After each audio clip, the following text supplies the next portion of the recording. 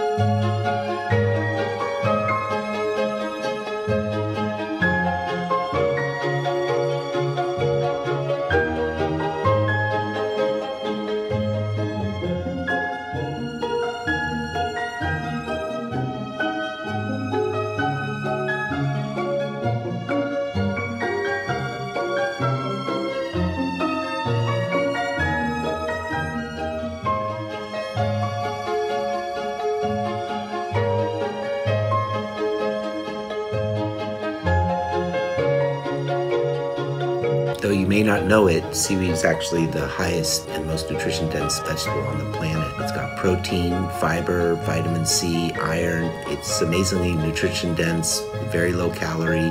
And if you consider that 27% of our kids don't get a single serving of vegetables in a day, this is a great way to get kids their vegetables.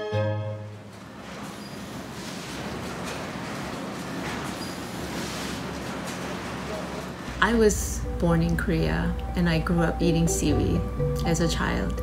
And every afternoon when I come back from school, my, my mother and you know, people will be roasting seaweed.